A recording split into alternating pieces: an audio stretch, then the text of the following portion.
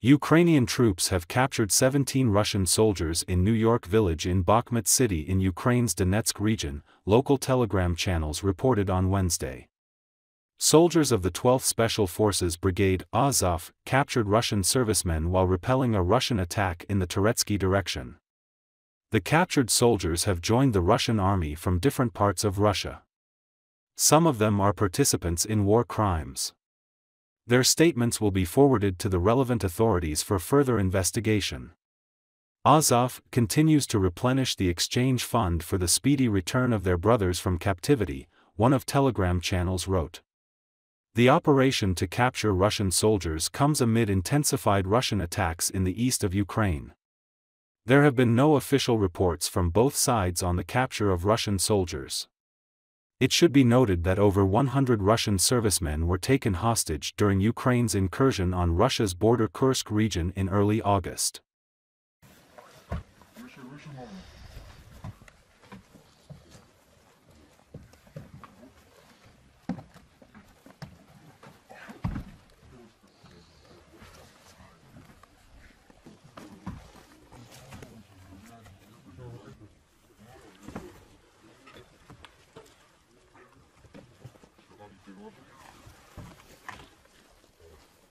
Едем молча. Понятно?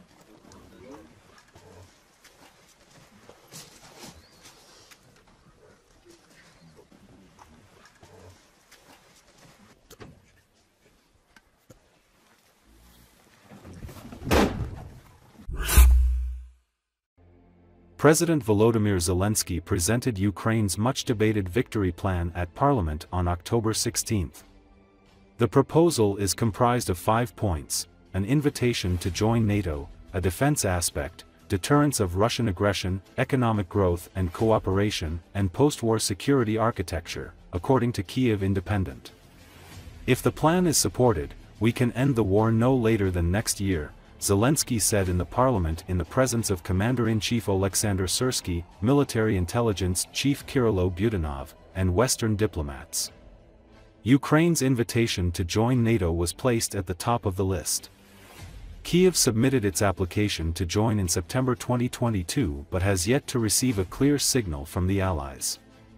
Zelensky said that the step should be taken now, representing a shift from his earlier comments that the move might be delayed until the end of the war. The second article stresses the need to bring the war to Russian territory, such as during the cross-border Kursk incursion launched in early August. This item also calls for lifting restrictions on long-range strikes in Russia, additional supplies of long-range capabilities, and Western support in downing Russian missiles and drones over Ukraine. The third point refers to non-nuclear deterrence and includes a secret part. Ukraine is proposing a comprehensive non-nuclear strategic deterrence package on its territory that would safeguard the country against future aggression. The fourth part addresses Ukraine's use of its natural resources, such as uranium, titanium, and lithium, which present economic growth potential for Kiev and the EU. Ukraine is offering a special agreement on joint investment and use of these resources with the EU and the US. The part also calls for ramping up international sanctions against Russia to undermine its ability to sustain its aggression. The fifth part relates to Ukraine's post-war security architecture. Kiev boasts a large and experienced military force that should strengthen NATO and the European continent, Zelensky said. Kremlin spokesperson Dmitry Peskov slammed Ukrainian President Zelensky's victory plan, calling it ephemeral. He said, instead, that it's a U.S. plan to fight us until the last Ukrainian, which Zelensky has camouflaged and presented as some ephemeral peace plan. Peskov also reiterated that a peace plan for Russia will only work if Ukraine understands the need to sober up. Zelensky was set to at least partially unveil a plan to win against Russia to his country's parliament after weeks of dropping hints about the blueprint to lukewarm Western allies, including US President Joe Biden. Zelensky in the Verkhovna Rada stated that Western partners have practically approached the victory plan. Now, teams are focused on the details of effective support. Ukraine's partners, to whom this plan has already been presented, have approached it practically. They are paying attention. Teams are focused on the details for effective support. The teams have begun working, Zelensky said. He also confirmed that he would present the victory plan at tomorrow's European Council meeting. However, the president emphasized that he first needed to present it to the Verkhovna Rada. But I want to be honest about how certain non-public, diverse format communications with Ukraine accompany the situation. We hear from partners certain words like negotiations and, much less frequently, the word justice. Ukraine is open to diplomacy, but to honest diplomacy, Zelensky added. Notably, the victory plan has been shared with American leaders, including Joe Biden and presidential candidates Kamala Harris and Donald Trump. The document was also presented to leaders in the UK, France, Italy, and Germany.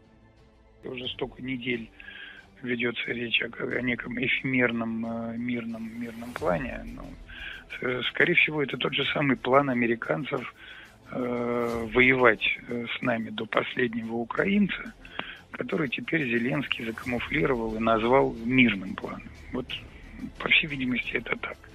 Какого-то иного там плана нет. Там может быть иной план который может быть действительно мирным. Это осознание киевским режимом бесперспективности той политики, которую они проводят, и, э, скажем так, э, понимание необходимости э, претрезветь, претрезветь и осознать те причины, которые привели к вот этому конфликту вокруг Украины, который сейчас